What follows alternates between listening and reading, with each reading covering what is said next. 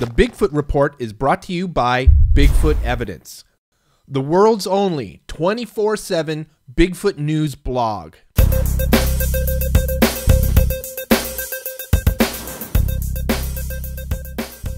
Bigfoot blogger Robert Lindsay has been busy gathering inside information.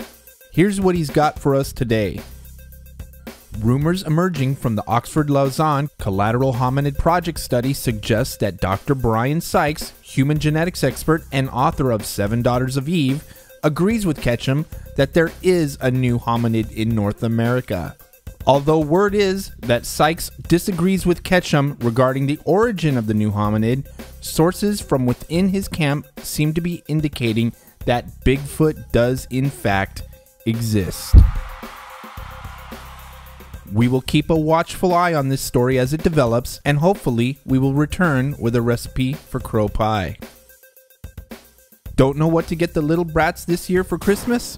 Guy Edwards at BigfootLunchClub.com suggests a kid's guide to hunting Bigfoot. This is a must have book. It is the perfect introduction to Bigfooting. This beautiful 32 page book by author illustrator Cindy Rose Cadell is now available at CryptoLagoon.com for just $14.95.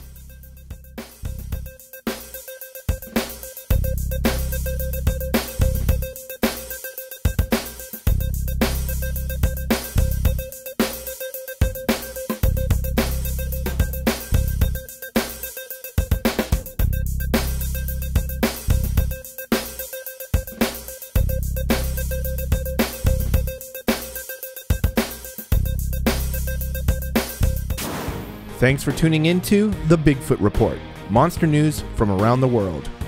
Brought to you by the Bigfoot Evidence blog.